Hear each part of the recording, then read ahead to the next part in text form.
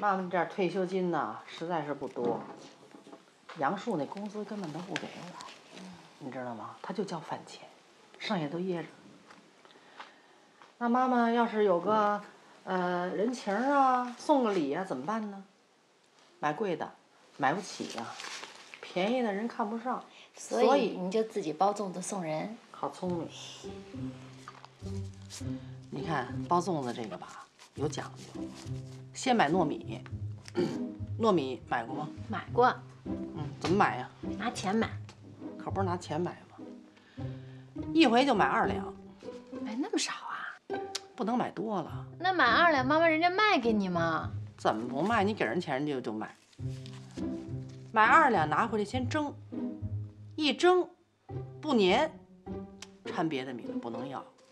你就这么跑两三家店，最后买了一看哪家一蒸就粘，这米又漂亮又紧实，就买他们家的了。哦，把米泡上，泡上以后呢，买粽叶。会买粽叶吗？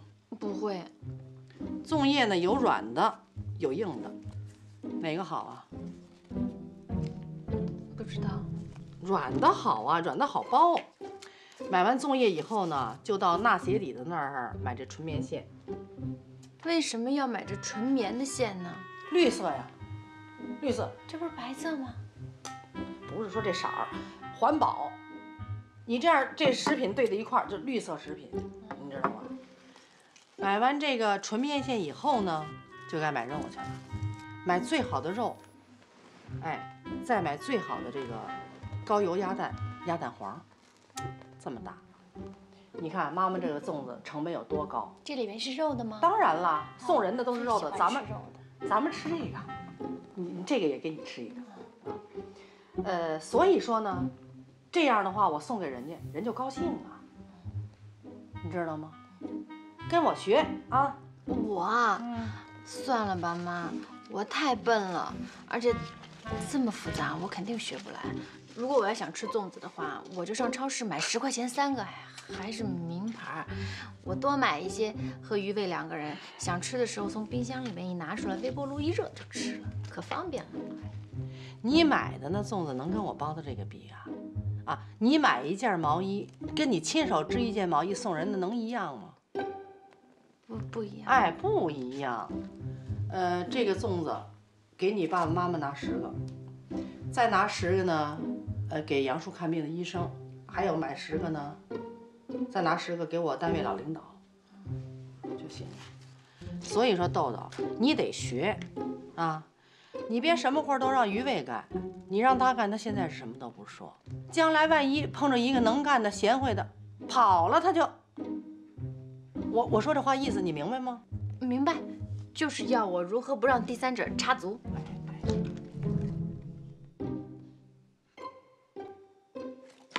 姚静可不一样啊，她可不是一般第三者，那拆迁办主任，哎，太不要脸了，这女的，你不能跟她来往，你要跟她来往，你就是支持第三者了。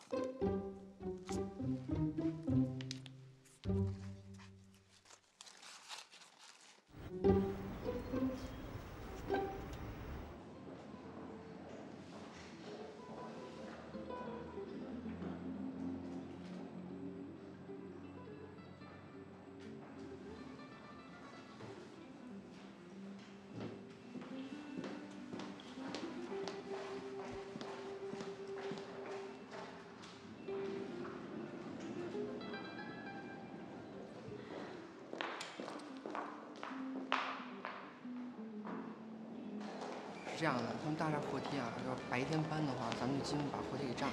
我刚才跟他们大厦物业商量好了，嗯，他们建议咱们搬家的时间呢，最好是在晚上七点钟以后。张秘书，这事儿我就不管了，你把它办好就行。好，好吗？好，没问题。哎，李总，李总，电梯来了。你先去。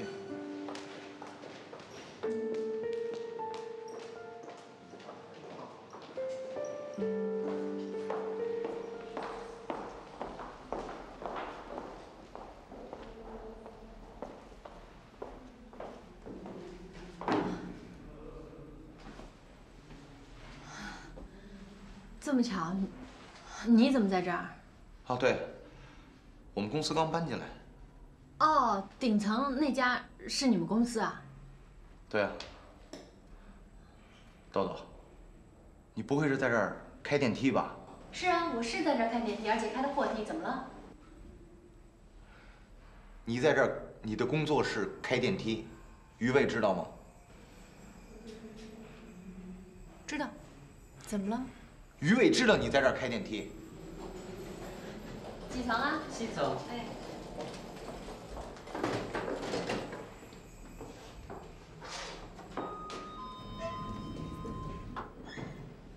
哎，你有没有听说过咱们顶层搬一大公司？关键是里面老板巨有钱，还是钻石王老五型的呢。有钱有什么了不起啊？我听说啊，他特花，都甩了好几个女朋友了。嗨，男人嘛，你有没有听说过，女人变坏就有钱，男人有钱就变坏？哎，我可不是那样的。那因为你还没钱呢。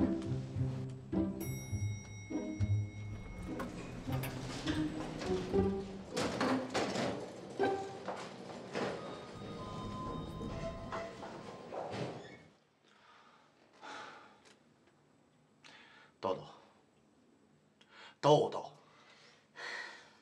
我跟你说，你这什么工作？这是啊？这是什么乱七八糟工作？你怎么能干这个呢？我为什么不能干？这，豆豆，咱们这么着好吧？咱不干了，好吧？我去跟你们那个经，咱都不用跟那经理说，这是什么狗屁工作？听我，什么跟什么呀？什么就不干了？你想干嘛？你为什么总要来干预我的生活呢？我告诉你，我就看不上你这点。你别以为你有钱了不起，你你有钱那是你的生活，你每天住着七八百平米的房子，然后开着欢快的跑车，一顿饭就几千块钱。但是我我我说实话，我不需要过这样的生活，我不需要。你是你，我是我，明白吗？豆豆，你根本就没明白，你根本就不知道你在说什么。你看看现在什么人才干开电梯这活？怎么了？我喜欢。我告诉你，李若秋，我真的拜托你了，不要再来干预我的生活了。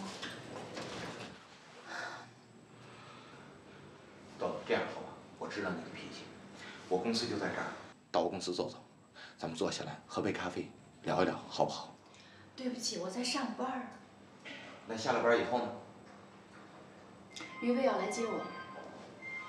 不是豆豆，你你为什么总是对我这样？我是真心的想帮你的，豆豆。不好意思，有人叫我，麻烦您出去吧。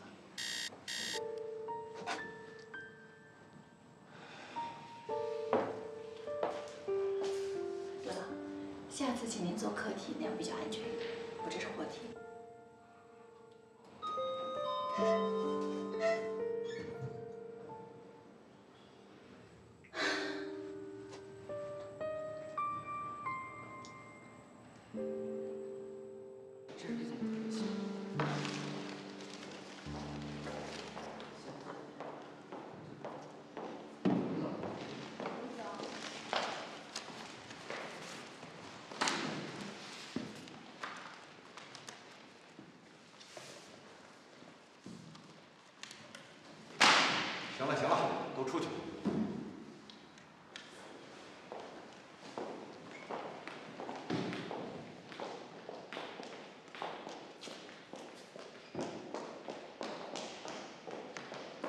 你怎么还在这儿？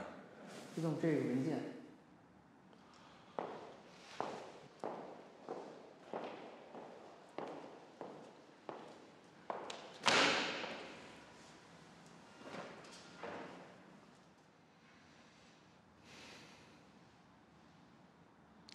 张秘书，你去十五号货梯，那儿有一个开货梯的女孩，把她安排到咱们公司里来。